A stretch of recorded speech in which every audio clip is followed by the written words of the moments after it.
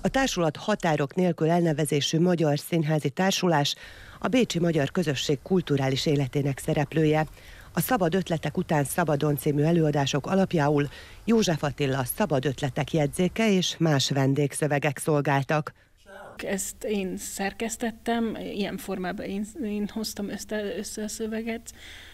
Um, lehet ezt új szövegnek is mondani, ezáltal, hogy bizonyos sorrendben egy új értelmet ad a, szövegrészeknek az, az egész. A darab egy önvallomás, ami a mai élet problémáira reflektál.